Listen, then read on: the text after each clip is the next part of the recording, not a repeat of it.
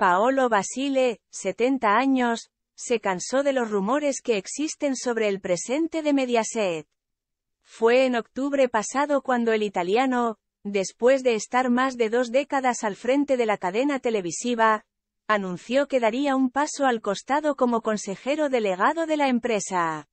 Hace apenas unas semanas, se decidió que el próximo 23 de junio será el último día de Jorge Javier Vázquez, 52 años, como presentador de Sálvame, poniendo fin a 14 años de emisión del magazine en televisión.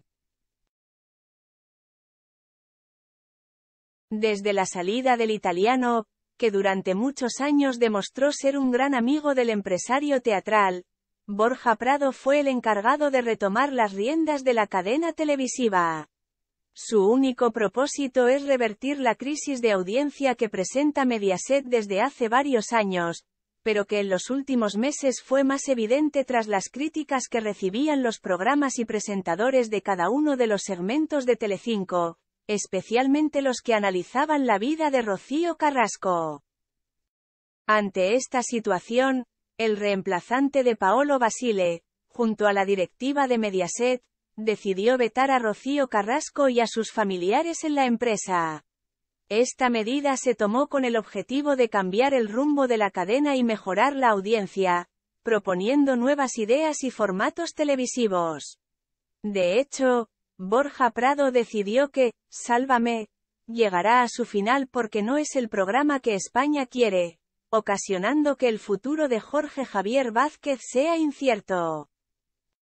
Sobre esto habló Paolo Basile en una entrevista en exclusiva con El Español, medio en donde dejó al descubierto que no está de acuerdo con quienes llaman telebasura al programa de Jorge Javier Vázquez, Llamar telebasura a algo que a la gente le gusta es ofender al público. No es educado hablar de telebasura. Es muy ofensivo hablar de basura cuando consiste en algo a lo que la gente dedica tanto tiempo. Me parece una gran estupidez. Solo hay dos clases de televisión, la que la gente ve y la que la gente no ve. De esta manera, el italiano demostró que no comparte el accionar de los nuevos ejecutivos de Mediaset al cancelar uno de los programas más populares de España, que ha sido líder de audiencia durante más de una década y donde Jorge Javier Vázquez se ganó el cariño de todos.